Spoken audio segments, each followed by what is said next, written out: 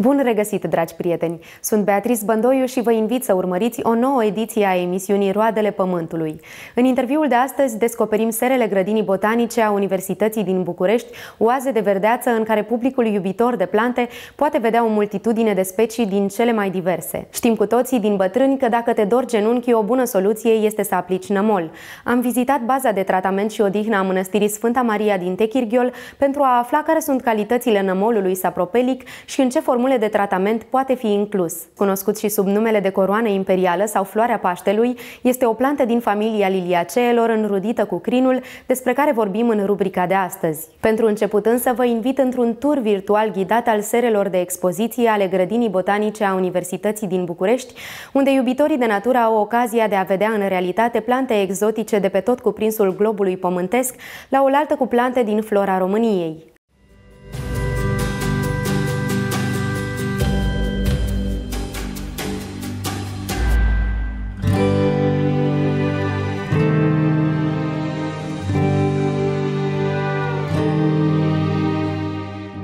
Sere are grădina botanică și când au fost înființate? Sunt trei grupuri de seră cu destinații diferite. Sera veche, care este destinată mai mult înmulțirii plantelor exotice, plante exotice ce vor merge către sera de expoziție atunci când sunt uh, apte pentru a fi expuse.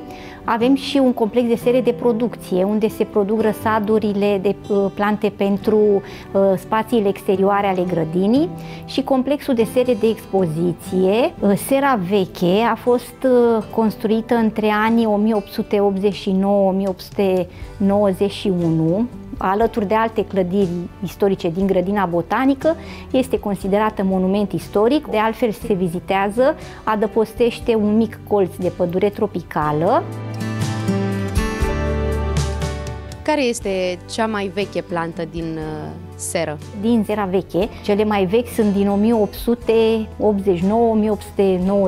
1889-1890, atunci când au fost uh, populate și serele. Avem podocarpus, o să-l vedeți uh, expus în pavilionul Pădurea Tropicală, o specie de araucaria, araucaria bidwilli, din păcate nu este expusă în partea vizitabilă, o specie de mm, phoenix. Podocarpusul se presupune că are peste 130 de ani. În uh, sere condițiile sunt uh, diferite în funcție de destinația lor? Da, pentru a putea oferi un anumit microclimat în funcție de zona de vegetație.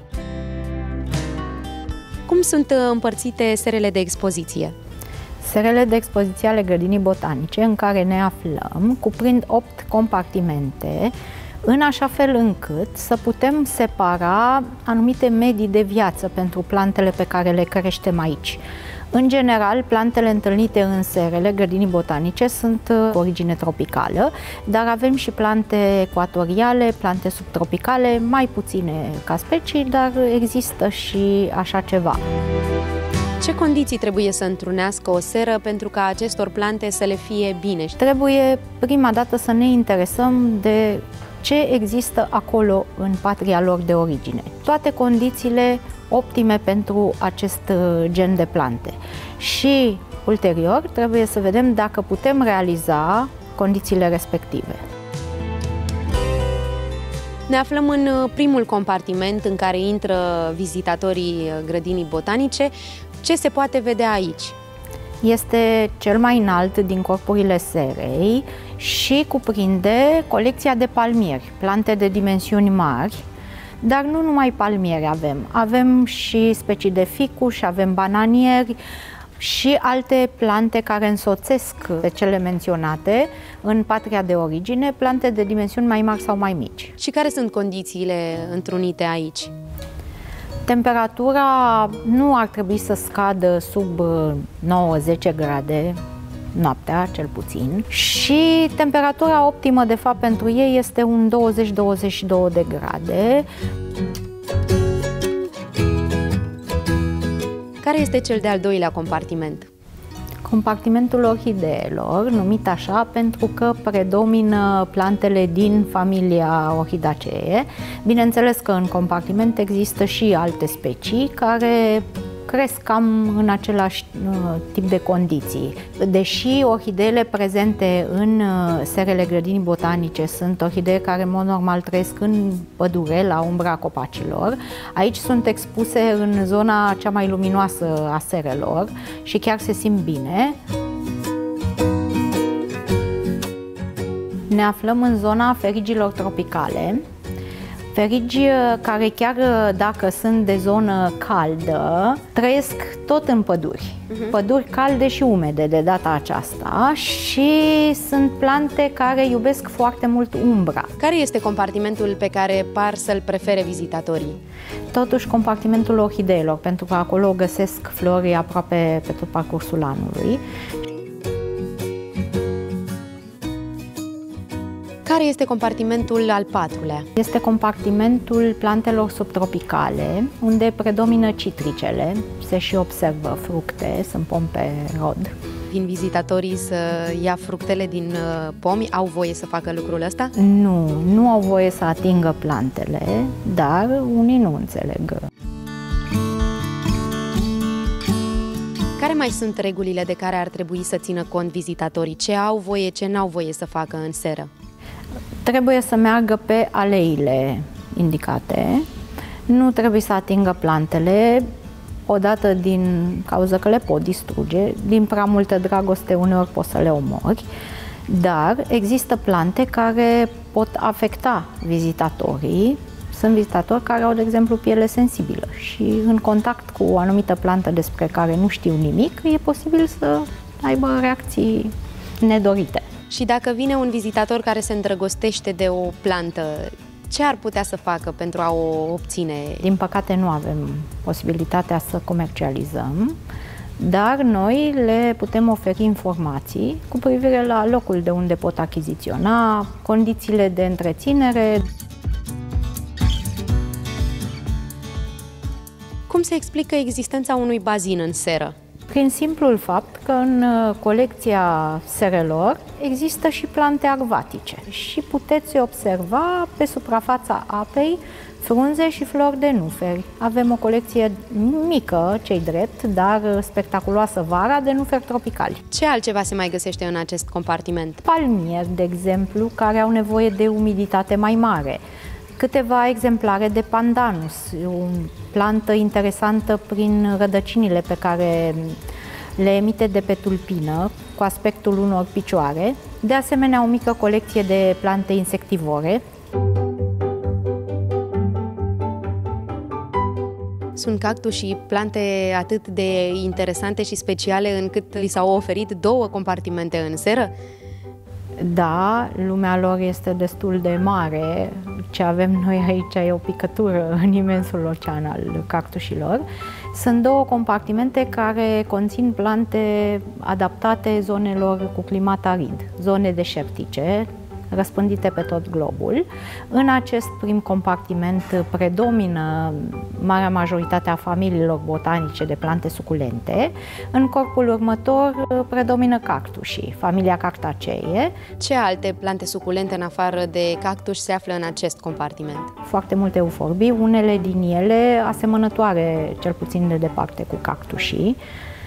De asemenea, agave, originare din uh, deșerturile mexicane, care dintre plantele de seră pot fi uh, cultivate cu succes și într-o locuință obișnuită?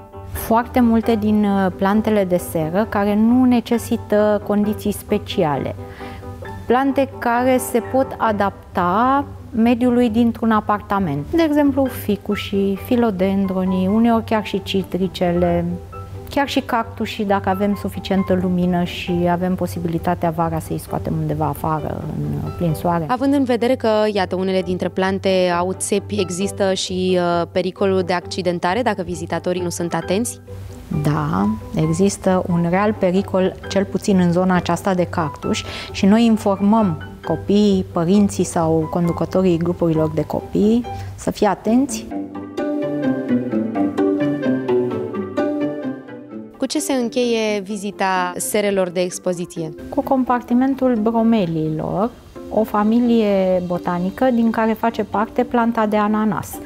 Plante mai ciudățele, dacă vrem să le spunem așa, care cresc la umbra arborilor, în pădurile acelea tip junglă, plante de dimensiuni mici în general, dar care se urcă, se cațără pe trunchiurile arborilor în căutarea luminii. Pentru uh, pasionații de plante, ce ar putea să facă pentru a-și crea o mini-seră acasă? E posibil lucrul acesta? Este posibil. Ne trebuie un loc unde plantele pot beneficia de lumină naturală. De asemenea, un loc care este relativ încălzit, unde să putem regla cât de cât temperatura prin aerisire, prin umbrire, prin pulverizare de apă.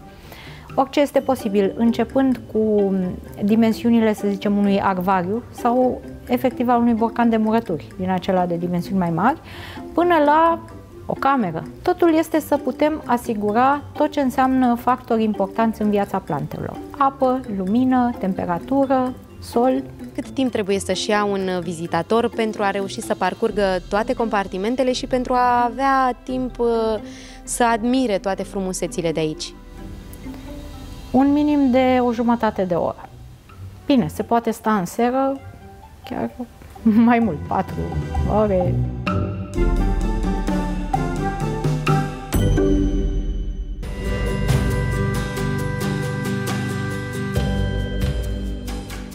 Nămolul sapropelic și apa termală din lacul Techirghiol sunt elemente folosite în scopul vindecării. Pentru reportajul următor am încercat să aflăm ce afecțiuni tratează, cum se poate avea acces la ele și ce presupun procedurile de tratament de la una din bazele de tratament care le folosește.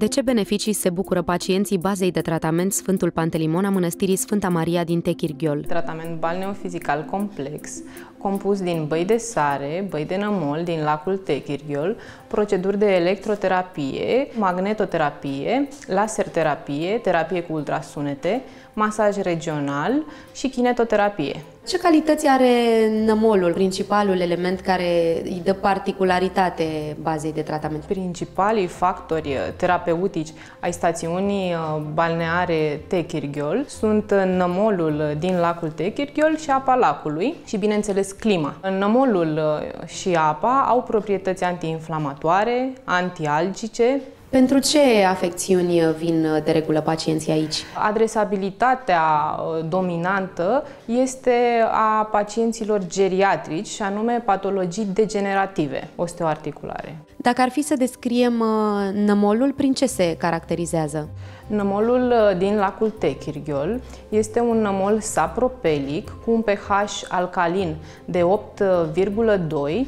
Acesta este negru-gri închis, onctuos, el este ca o șarlotă, nămolul acesta veritabil. Are un miros specific, astringent, înțepător, datorită sulfului din compoziția lui. Cum se folosește concret nămolul? Sub ce formă? Într-o cadă umplută cu apă sărată din lac, se adaugă o cantitate de 10 kg de nămol la o temperatură de 38 de grade, astfel încât apare relaxarea musculară, mobilizarea depozitelor sanguine în circulația generală, iar uh, vara pacienții pot merge la lac să facă plajă și uh, oncțiuni cu nămol. Cât timp durează o cură balneară? O cură balneară, pentru a avea efecte scontate, durează între 2 și 3 săptămâni. Răzultatele sunt imediat vizibile sau uh, se văd mai târziu? Există o reacție a curei balneare, pacienții se simt un pic răscoliți, uh, resimt dureri, chiar mai acutizați față de atunci când s-au prezentat, însă uh, ulterior, cam după 2-3 săptămâni, ei se simt mult mai bine. Și cât timp se menține starea aceasta de bine? Depinde dacă pacienții respectă recomandările medicale de la sfârșitul tratamentului. Trebuie să aibă un stil de viață sănătos da? și, evident, cura balneară se reface la șase luni indiferent de afecțiune? Sunt pacienți care au boli cronice din categoria bolilor degenerative și aceștia necesită o întreținere, un tratament de recuperare periodic la șase luni, dar sunt și pacienți care au afecțiuni acute de genul lumbago și se pot trata și vindeca cu tratamentul nostru. Apa din uh, lac uh, se poate folosi uh, și separat ca o formulă de tratament sau doar în asociere cu nămolul? Și ce calități are această apă? Băile de sare la cadă pot fi administrate separat de nămol cu efecte la fel antiinflamatoare și antialgice.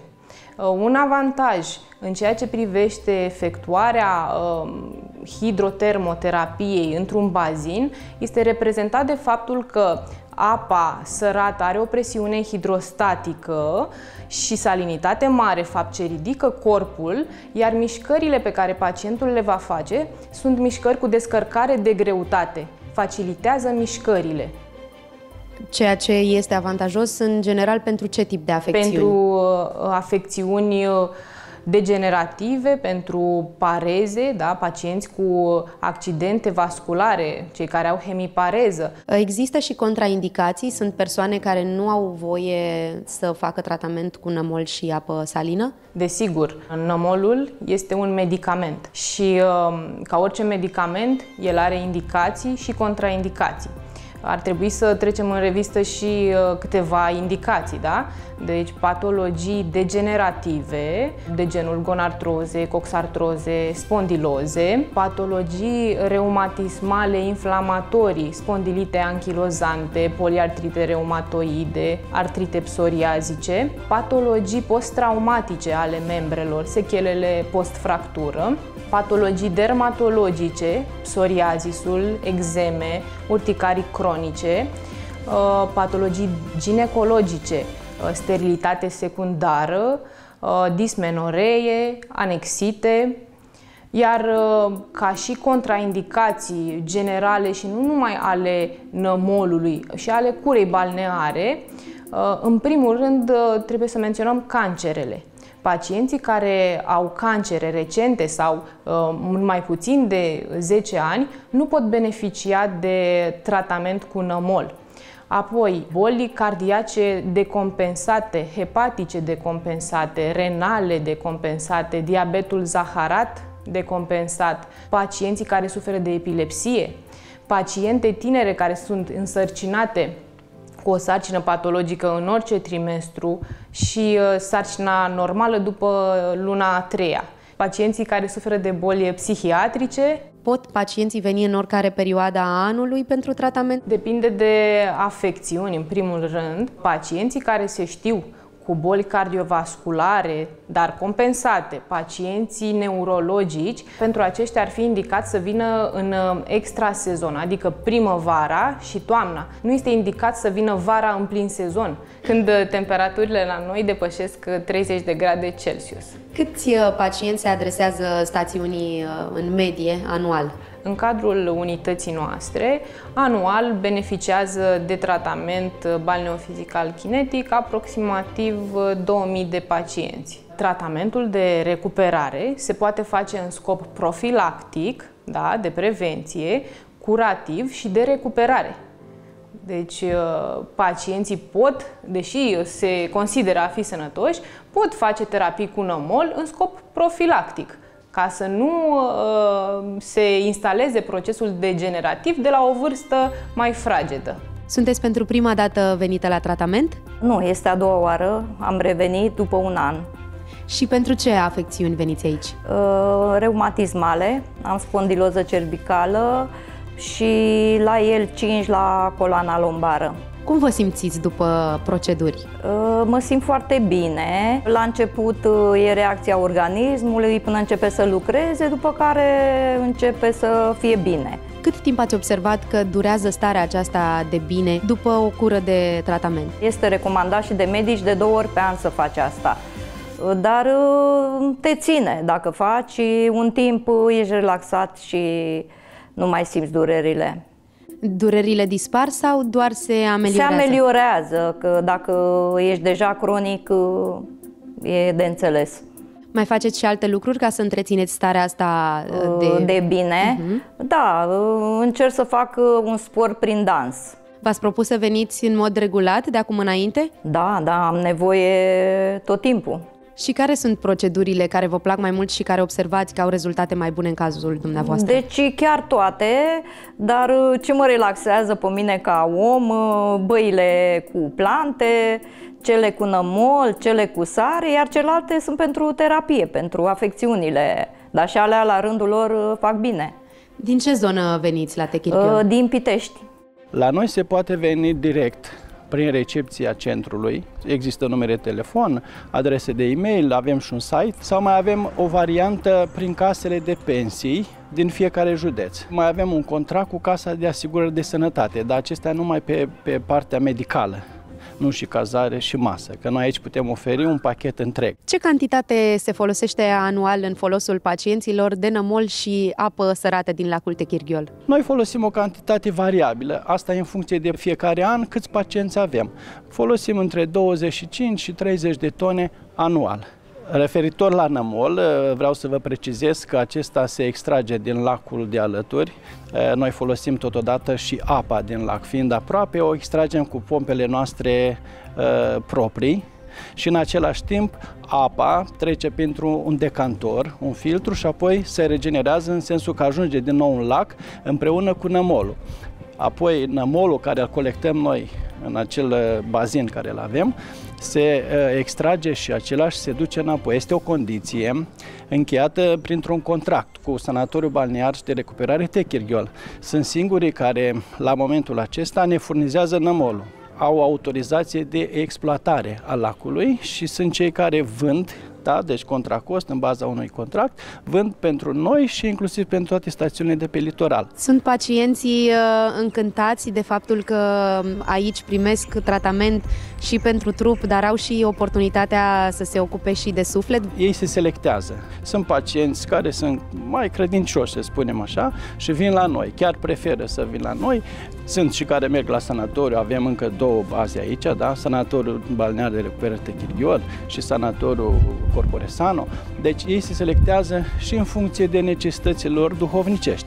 La noi cei care vin beneficiază într-adevăr de această oază de liniște, dar din toată stațiunea vin la noi. Noi avem și în fiecare vineri, mai ales în perioada de vară, oficiem taina Sfântului Masul special ca să îmbinăm cele două, adică și partea duhovnicească și partea trupească. Este un avantaj pentru mănăstirea noastră.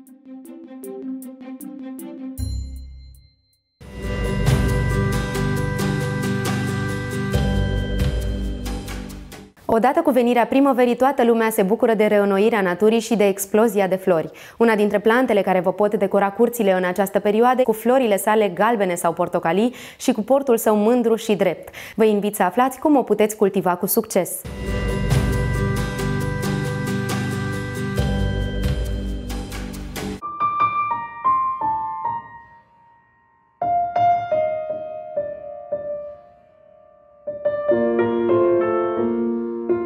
Astăzi vom vorbi despre uh, Fritillaria imperialis, coroană imperială sau uh, floarea Paștelui. Este o plantă din uh, familia Liliaceae, ca și crinul. Originea ei este undeva în sudul Turciei și partea de nord-vest a Indiei și um, a fost deschisă pentru prima oară în anul 1629 de către botanistul englez John Parkinson. Este o plantă perenă care are în uh, pământ un bulb mult mai mare decât uh, bulbul alelelor. Poate să aibă 10 cm uh, diametru. Ajunge la înălțimi de maxim un metru, un metru și jumătate. Are tulpina verde în principal și partea superioară este colorată în, în violet. Frunzele sunt lanceolate, sunt mai ovale la bază și mai ascuțite la vârf de o culoare verde deschis, iar florile sunt campanulate sub formă de clopoțel. Culoarea predominantă este portocaliu, pot fi diferite nuanțe de portocaliu roșu închis, dar sunt și uh, soiuri cu floarea galbenă. Se plantează toamna, septembrie, zi cărțile de specialitate, dar noi putem să devansăm puțin spre octombrie-noiembrie. Bulbul uh, fiind mare, trebuie plantat la o adâncime corespunzătoare, 15, chiar 20 de centimetri. Dacă bulbul nu este pus la adâncimea uh, care trebuie, planta nu mai înflorește are nevoie de uh, soluri um, prin care să treacă apa ușor, uh, soiuri reavene, ușor alcaline. Cel mai bine se dezvoltă în plin soare, tolerează și semi-umbra, iar în ciuda faptului că este o plantă mare și cu destul de multe frunze, nu uh, trebuie să exagerăm cu udatul. Apa în exces duce la putrezirea bulbului. Chiar și după ce trec florile, se mai udă o perioadă, intervalul de udat mărindu-se până uh, încep să se îngălbenească frunzele și atunci nu mai este nevoie de, de udat. Perioada de înflorire, tot așa în cărțile de specialitate, este undeva aprilie. Sigur, uh, fiind foarte cald, ele pot să înflorească mai, uh, mai devreme, aș zice sfârșitul lunii martie, mergând pe toată perioada lunii aprilie. Florile au un uh, miros destul de suav, mirosul mai urât al plantei este dat de bulb și este un miros care îndepărtează eventualele rozătoare sau alți dăunători.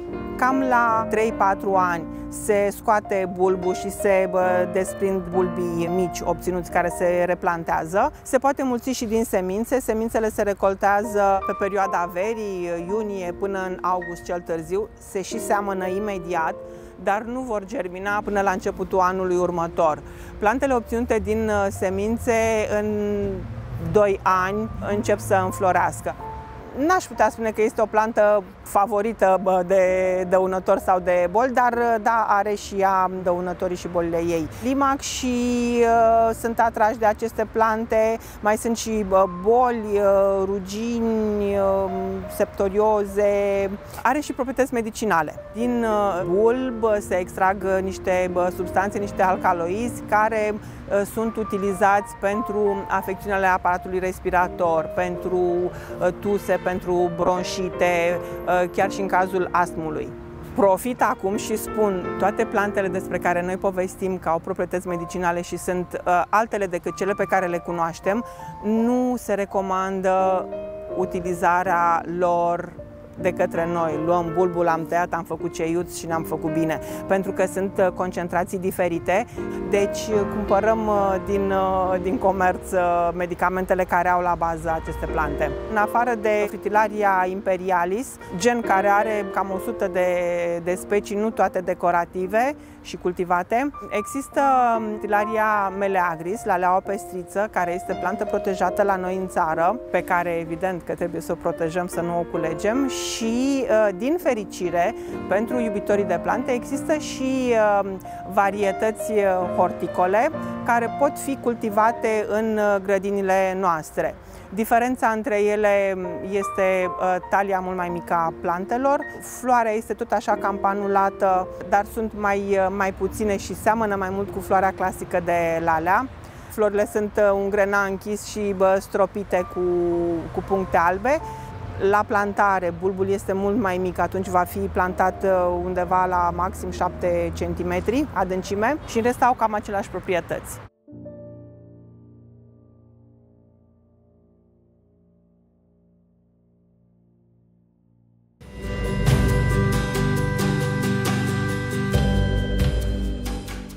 Dragii mei, am ajuns la finalul ediției de astăzi. Dacă găsiți folositoare informațiile prezentate sau dacă aveți idei, păreri sau sugestii, aștept mesajele voastre pe adresa redacției sau pe e-mailul emisiunii roadele pământului arondtrinitas.tv.ro. Sunt Beatrice Băndoiu și până duminica viitoare vă doresc o săptămână rotnică. Pe curând!